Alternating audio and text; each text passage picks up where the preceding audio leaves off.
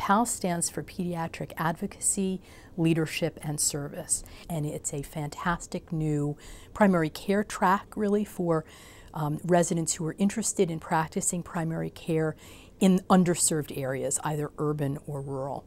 So we actually place those residents in community-based primary care settings for a total of six months during their training. It's a combination of rural sites that are um, some distance from the hospital and urban underserved sites.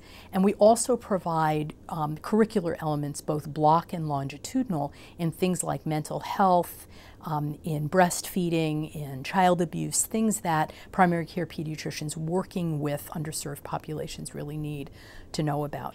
So six months of the PALS residents training will be in these community primary care sites in urban or rural areas, um, and they will have additional curricular elements. Other than those six months, they're integrated into the program like any other pediatric resident, so they get the wonderful training that all of the residents get here in terms of subspecialty, inpatient care, general um, inpatient care, as well as all of the ambulatory rotations that, that our residents are exposed to.